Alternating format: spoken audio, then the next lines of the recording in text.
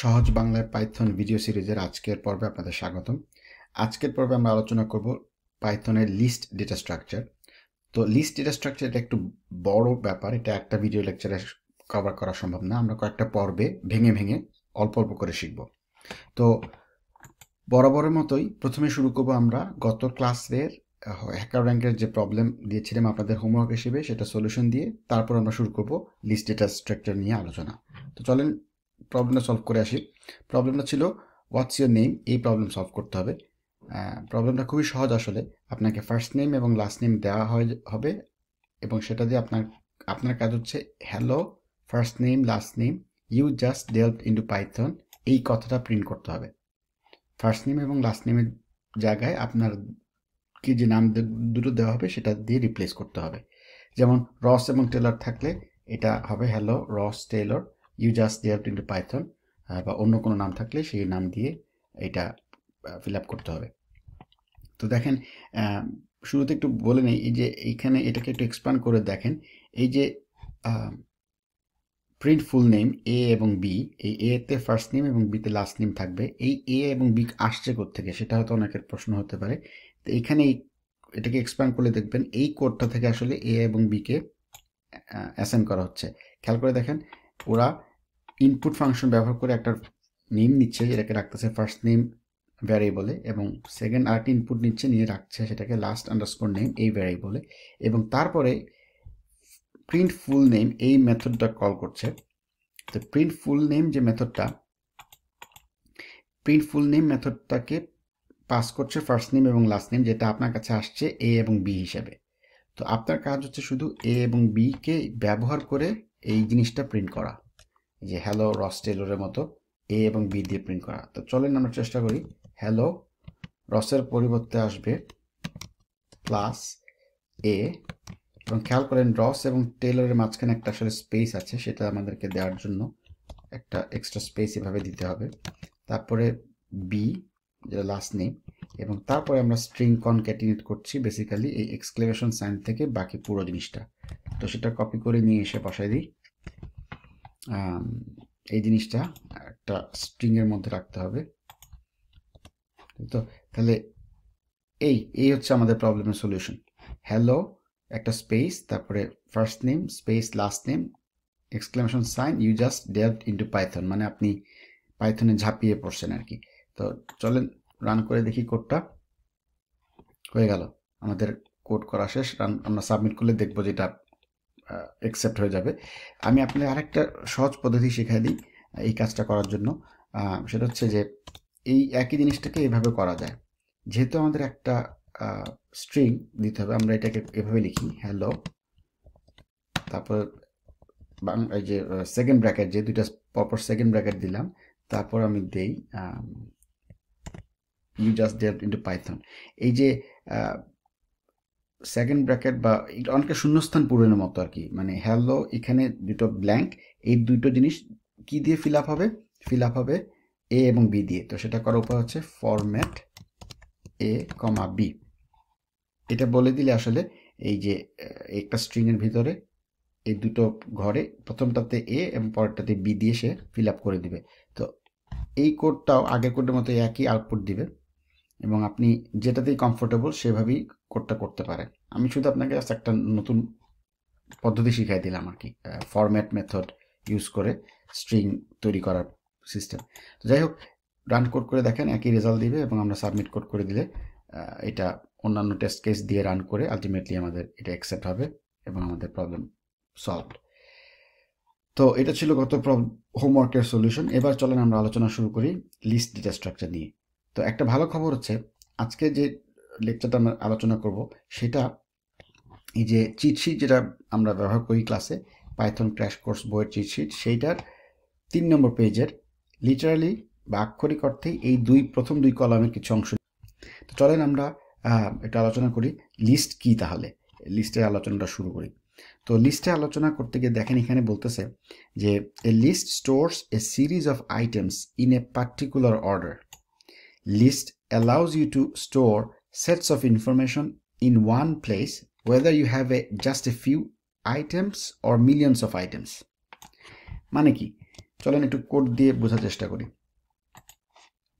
দেখেন, এখানে আমি একটা লিস্ট ক্রিয়েট করছি, সেটার নাম দিছি এ লিস্ট যে কোনো নাম দিতে পারেন আপনি। এবং আমরা তিনটা আইটেম দিছি ববিতা, রাজ্জাক এবং জসিম।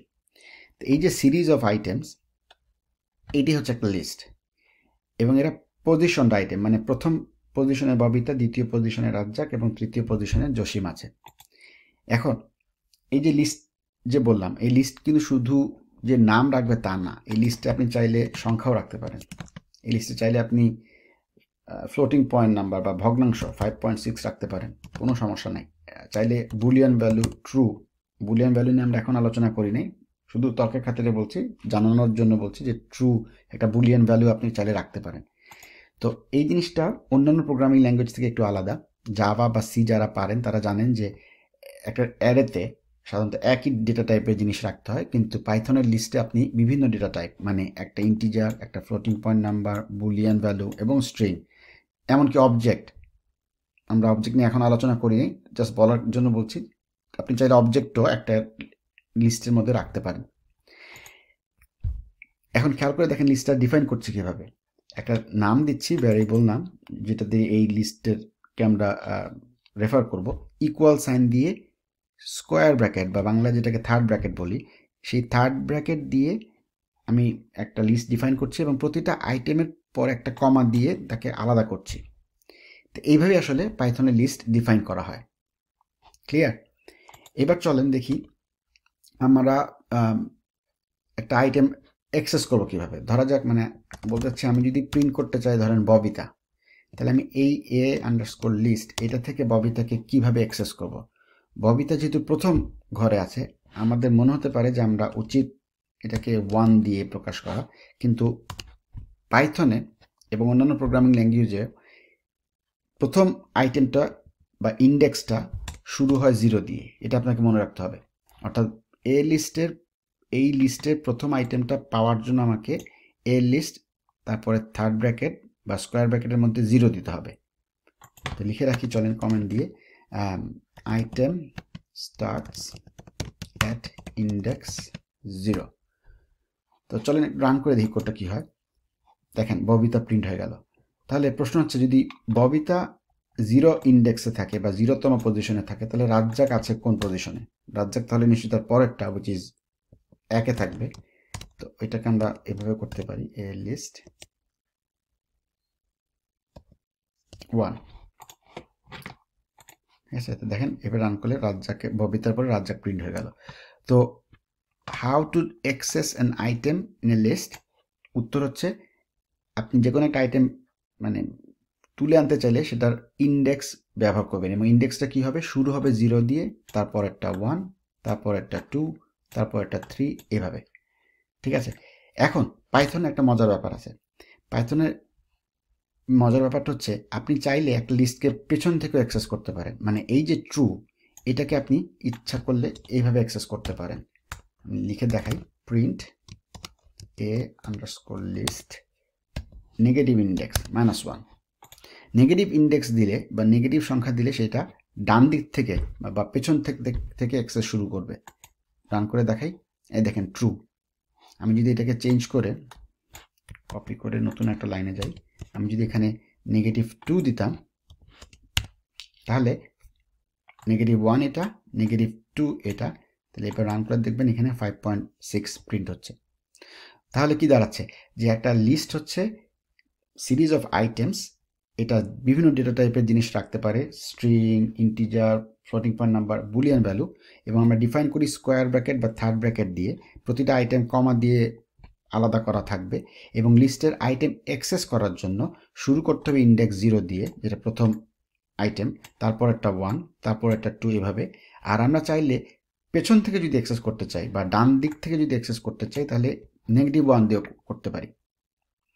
এখন খেয়াল করে দেখেন, এটা যদি নেগেটিভ ওয়ান হয়, এটা যদি নেগেটিভ টু হয়, এটা যদি, তাহলে নেগেটিভ থ্রি হবে negative four negative five negative six হবে। তাহলে আমরা যদি এখানে ববিতার বদলে মানে জিরোর বদলে নেগেটিভ সিক্স দিতাম, তাহলে দেখেন ববিতা প্রিন্ট হবে। একইভাবে এটা যদি জিরো হয়, তাহলে এটা ওয়ান এটা টু এটা থ্রি এটা ফোর ট্রুটা হবে ফাইভ নম্বর ইন্ডেক্স রাইট তাহলে আমি চাইলে এখানে ইন্ডেক্স যদি আমি পাঁচ দিই তাহলে রান করলে দেখবেন এখানে ট্রু প্রিন্ট হচ্ছে। তো যেদিক থেকে ইচ্ছা, আপনি চাইলে শূন্য থেকে শুরু করতে পারেন অথবা নেগেটিভ ওয়ান থেকে পেছন থেকে শুরু করতে পারেন।